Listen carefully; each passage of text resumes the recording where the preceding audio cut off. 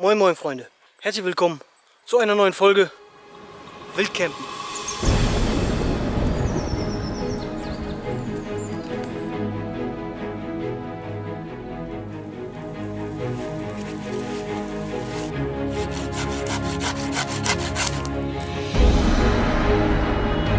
Plus Buchweizen. Ich habe das so ein bisschen vermischt. Guckt euch jetzt einfach mal seinen Blick an. ein ganzer Stock, ein ganzer Stamm fängt nicht so gut Feuer und brennt auch nicht so gut an wie gespaltenes Holz.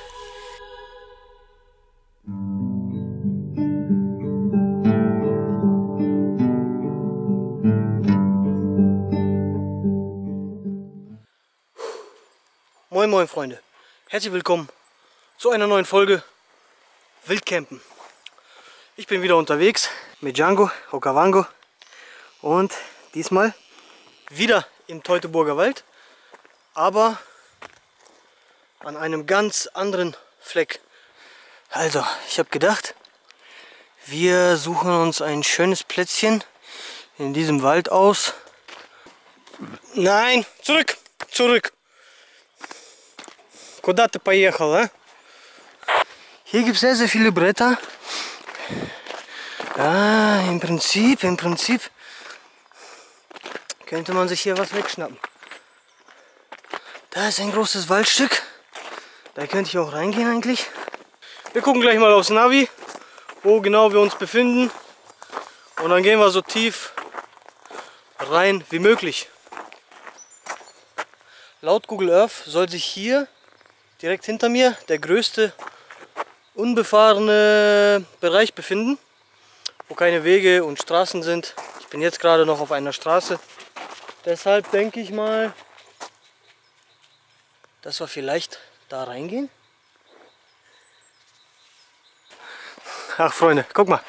Jetzt bin ich hier, bisschen weiter gegangen und hier zeichnet sich eine Spur ab. Wahrscheinlich von Schlitten. Ja, Winterberg.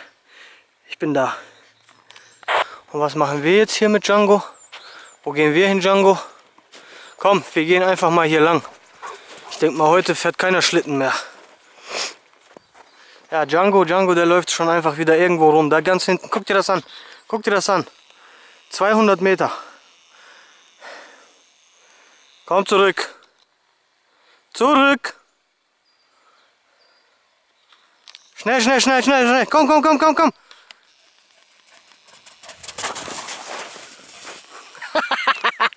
Django, ja. Wir gehen jetzt erstmal diesen Berg hier hoch, gucken gleich nochmal aufs Navi, auf die äh, Google Earth Karte. Und ja, vielleicht, vielleicht müssen wir da irgendwo uns verstecken und dann mal schauen, wie wir das machen. Ist doch relativ offen hier, das Gelände. Auf Google Earth sah das alles flach aus. Das ist ja voller Beschiss. Meine Herren, das ist schon wieder, da kriege ich wieder so einen Hals, du. Berg so hoch, Füße so klein. Oh, jetzt habe ich schon ein gutes Stückchen zurückgelegt. Django Kavango, der freut sich, der läuft einfach irgendwo weit, weit weg. Weit, weit weg. So, Django ist jetzt weg. Eindeutig. Ich werde ihn nicht mehr suchen. Wenn er weg ist, ist er weg. Ich verstecke mich jetzt einfach. So. Und dann gucken wir mal.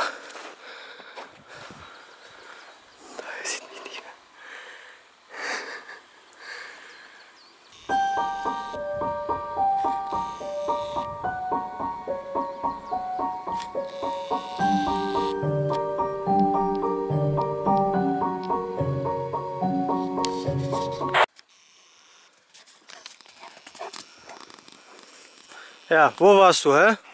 Wo warst du, Django? Wir haben jetzt hier eine Seitenstraße gefunden. Das gefällt mir sehr, sehr gut. Hier war damals wohl auch irgendein Weg.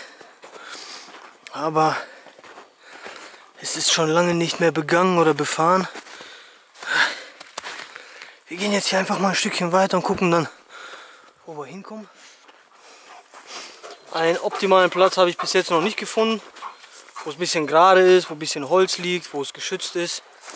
Das hier, das hier alles ist mir zu dicht. Da kann ich noch nicht mal mein Zelt aufstellen. Hier geht's nur berghoch. Aber jetzt bin ich schon oben und das gefällt mir schon viel besser hier. Ah. Flachland und unberührte Natur. Hier sind keine Fußspuren, außer von Tieren. Wir stellen unser Lagerplatz gleich fest. Wir brauchen genügend Holz in der Umgebung, damit wir auch genügend Feuer haben über Nacht. Ja, dann gehen wir vor, Django. Ah, Hier. Ah, Hier. So. Okay. So, wir sind jetzt gleich da, glaube ich. Ich habe einen richtig schönen Platz entdeckt. Django, nicht so schnell, nicht ziehen. Also, Fußspuren haben wir hier keine.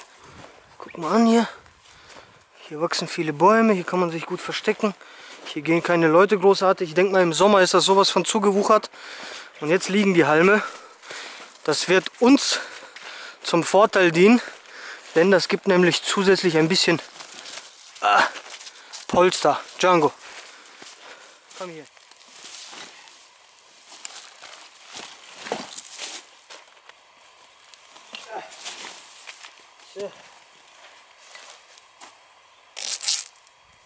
Warum?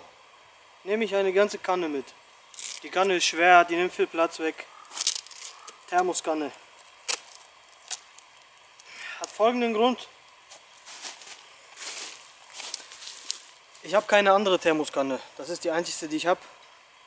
Zurzeit. Ich möchte mir eine neue holen.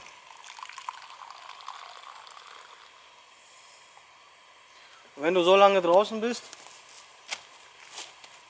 in der Kälte,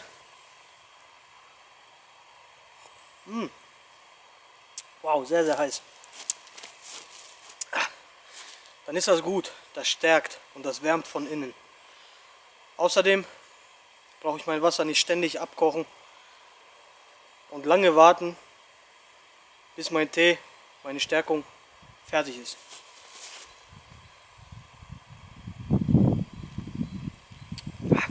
Das ist lecker. Das wärmt von innen. Es gibt richtig schön Wärme und ich werde vom Schlafengehen auch noch mal eine Tasse trinken.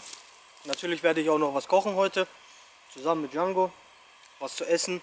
Ich habe an Buchweizen gedacht, mit Fleisch, anbraten, ein paar Gewürze mit bei, Zwiebeln, mm, lecker. Ja. Ich habe übrigens auch noch eine PET-Flasche mit. Ähm, da tue ich dann auch heißes Wasser rein und tue es dann abends mit in meinen Schlafsack zu den Füßen. Das ist, äh, du schläfst wie ein Baby ein. Mit der Flasche. Deswegen habe ich heute auch ein Zelt mitgenommen. Das wiegt zwar zweieinhalb Kilo, aber ja, schützt vor Regen, schützt vor Wind, isoliert ein bisschen. Ist ein bisschen Luxus.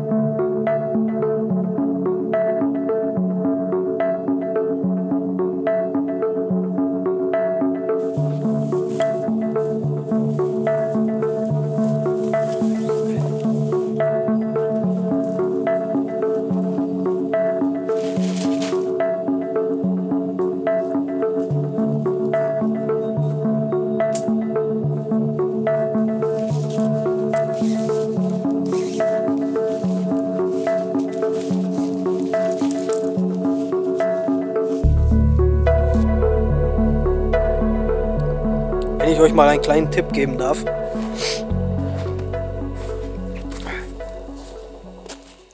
Wenn ihr draußen schlaft, dann achtet darauf, dass eure Füße möglichst tiefer liegen als euer Kopf. Weil wenn ihr mit dem Kopf jetzt, sage ich mal, hier liegen würdet und hier ist ein kleines Gefälle, dann würden eure Füße in der Nacht dermaßen anfangen zu frieren, dass ihr ständig wach werdet und einfach keinen Schlaf mehr findet, zur Ruhe kommt. Deshalb schlafe ich heute hier. Django schläft dann hier. Mal gucken, vielleicht will er auch draußen schlafen. Mache ich einen Pfeil im Boden, mache die Leine dran, dann kann er auch draußen schlafen. Aber ich würde sagen, er legt sich dann zu meinen Füßen, wie immer. Und äh, dann passt das schon. Es ist bei mir so, äh, ihr müsst euch das mal so vorstellen. Das Herz ist die Pumpe, das warmes Blut zu den jeweiligen Gliedmaßen pumpt. Das Herz ist aber näher zu eurem Kopf als zu euren Füßen. Und die Füße und die Finger, das sind, das sind die Sachen, die ja, zuletzt drankommen. Also der Körper versorgt erstmal die Innereien und danach kommen die Gliedmaßen. Deswegen ist das nicht so schlimm, wenn man mit den Füßen unten schläft, damit das Blut auch nach unten fließen kann. Ja, wir gehen ja auch nicht auf den Kopf, sondern auf den Füßen. Und so sollte man eigentlich auch schlafen. Möglichst.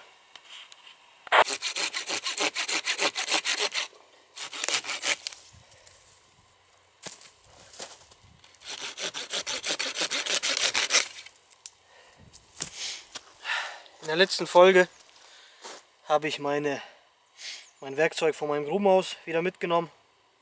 Die Folie wollte ich auch noch mitnehmen. Ich wollte jetzt da nicht alles umkrempeln. Die war richtig tief, aber da gehe ich noch hin und nehme die Folie auch mit, weil ich kann damit noch was machen.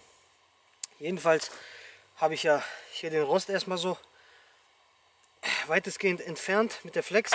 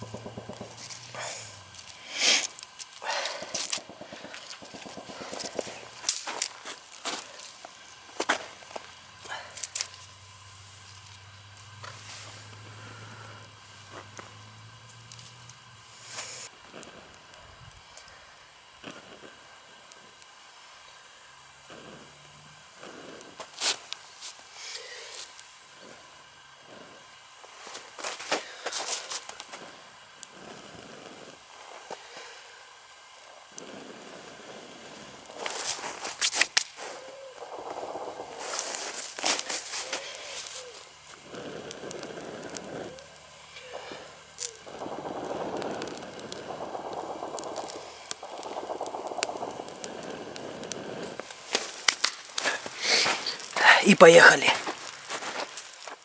Das war jetzt gar nicht so einfach, das Feuer anzukriegen. Ich habe, glaube ich, eine halbe Stunde gebraucht jetzt.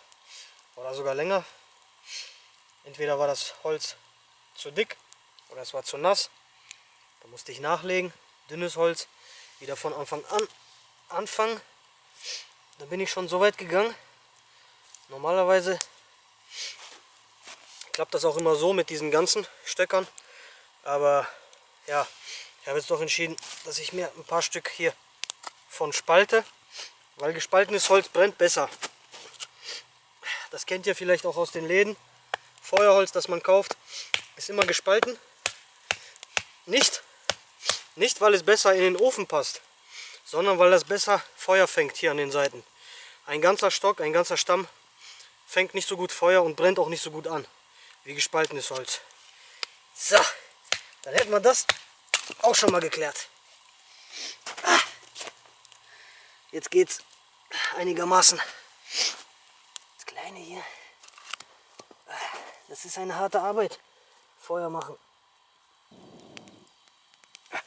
Die Wikinger oder die Germanen, die Slawen, die Veden, wie, wie auch immer man sie bezeichnen möchte, die ganzen nordischen Völker, die haben damals Feuer gemacht, indem sie, ja, man weiß es ja schon aus archäologischen Funden, dass die äh, Feuer im Haus hatten. Die hatten keinen Ofen, so wie wir das kennen, sondern, oder vielleicht hatten die irgendwelche Feuerstellen, aber um das ganze Haus zu heizen, hatten die äh, einen großen Baumstamm mitten im Wohnraum. Und dieser Baumstamm hat dann die ganze Nacht durchgebrannt. Ich kenne das selber, wenn ich morgens früh einen dicken Stamm, äh, abends einen dicken Stamm angemacht habe und dann morgens früh aufwache, im Sommer, wenn es äh, nicht geregnet hat, dann äh, glüht dieser Baumstamm morgens früh immer noch. Naja, der kann dann drei, vier Stunden weiter glühen. Dann pustest du zwei, dreimal an, legst ein bisschen Holz drauf und hast wieder Feuer. So brauchten die Urvölker nicht jeden Tag neues Feuer anzumachen, sondern hatten jeden Tag Feuer im Haus.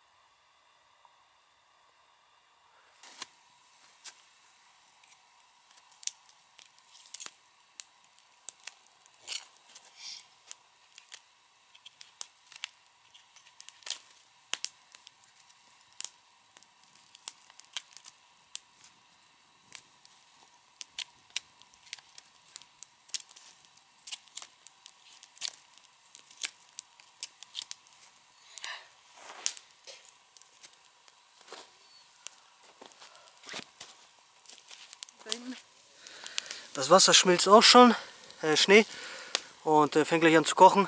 Dann füllen wir mal einen Teil davon, füllen wir wieder in die Thermoskanne, damit das auch schön lange heiß bleibt. Dann verdünnen wir den Tee einfach und gut ist. Und äh, ich habe hier, also ich habe hier so zwei Packungen Buchweizen. Das sind so Päckchen, ich glaube 80 Gramm, eine Packung, vier Stück jeweils in einer Packung.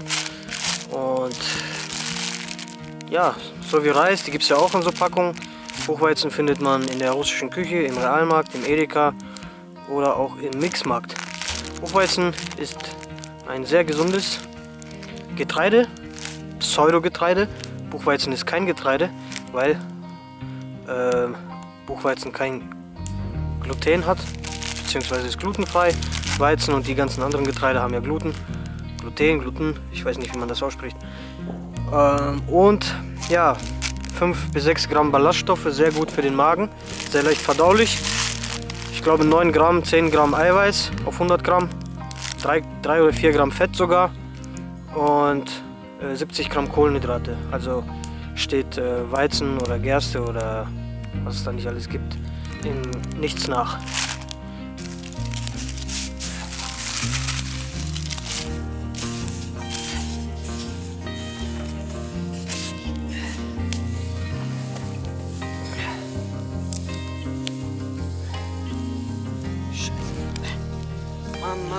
Mann, das schmilzt ja alles. Nochmal Glück gehabt, nochmal Glück gehabt. Ruhig, Django. Gleich gibt's lecker, lecker. Ein bisschen warten noch.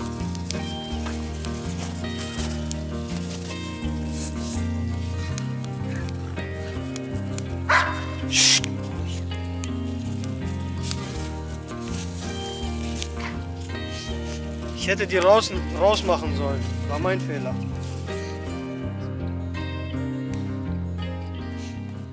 Essen ist gleich fertig. Warten wir noch ein bisschen. Und ich habe Django seine Schüssel vergessen mitzunehmen. Wie machen wir das jetzt? Django. Ich habe da eine Idee. Wir nehmen, wir zweckentfremden einfach diese Folie.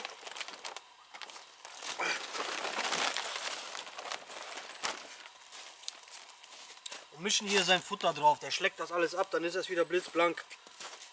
Kein Problem. Django, wir machen für dich gleich was Schönes, Leckeres. Ah, das hast du noch nicht gesehen, sowas. So, Django hat jetzt sein Hundefutter hier drinne plus Buchweizen. Ich habe das so ein bisschen vermischt und das ist jetzt richtig lecker für ihn. Glaube ich zumindest. Sonst ist er das auch immer. So. Und gleich, vielleicht kriegst du morgens früh dann, vielleicht esse ich das heute gar nicht, meine Portion, esse sondern äh, nur das Butterbrot, ein bisschen was Süßes.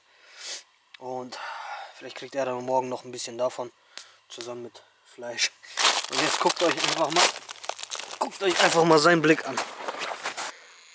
Django, mit deiner Saba.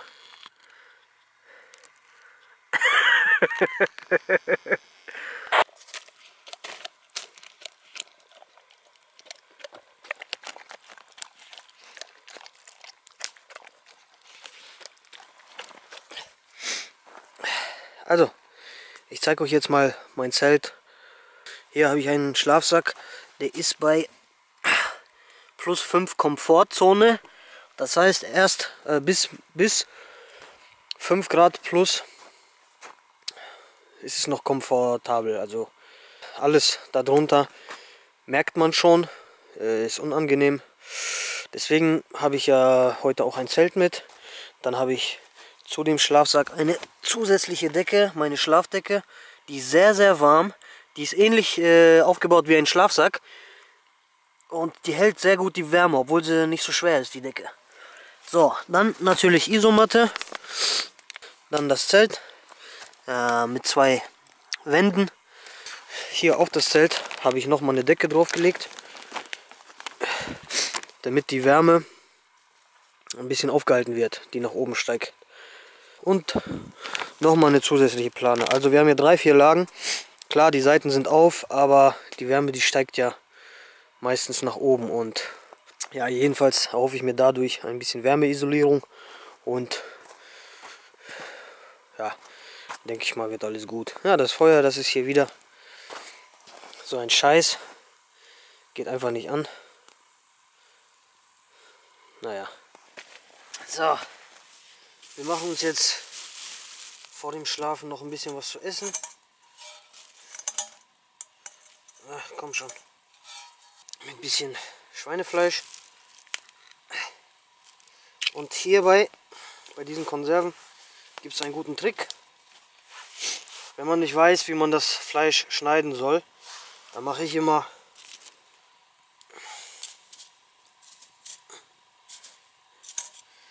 ein paar Schnitte hier rein. Ich muss mal gucken, wie ich das am besten zeige jetzt.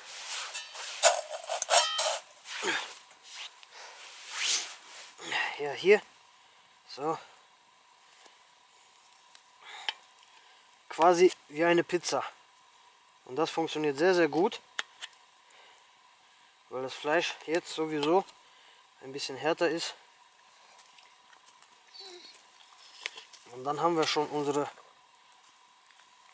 Stückchen alle fertig. Wenn wir die rausmachen. So. Und dann so nochmal quer. Alle. schön an. Ach, guck mal, wie das gut wird. Wie viele Stückchen Fleisch wir haben. Klein geschnitten. Alles in der Dose.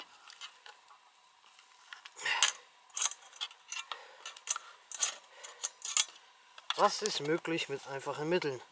Sage ich immer wieder.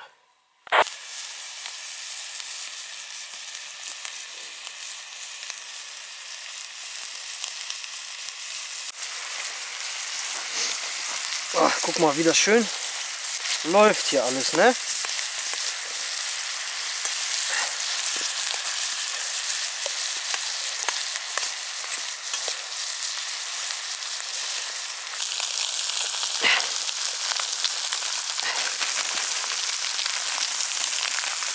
Super.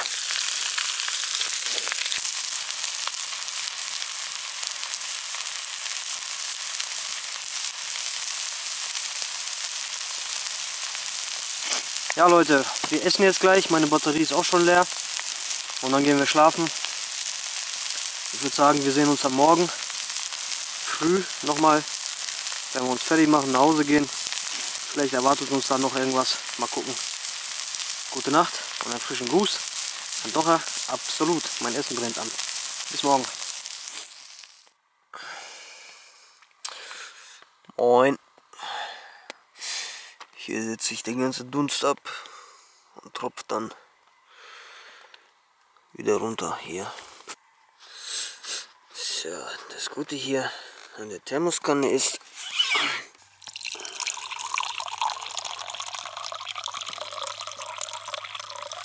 Och, das ist immer noch heiß. Ganze Nacht gestanden.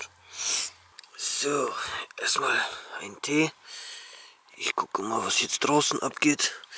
Sieht so aus, als hätte es wieder geschneit. Ja, ein bisschen. Ein bisschen hat es geschneit. Uh, kalt ist es. Kalt, kalt, kalt.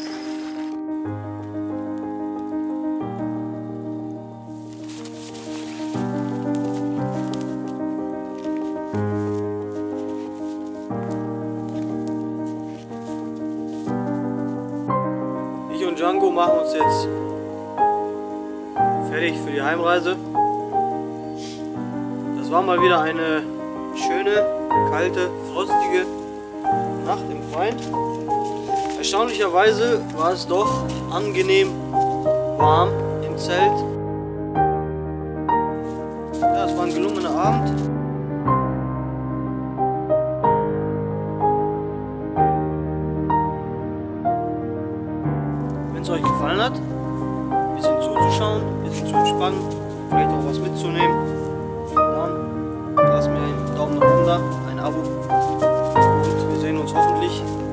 Meiner nächsten Folgen.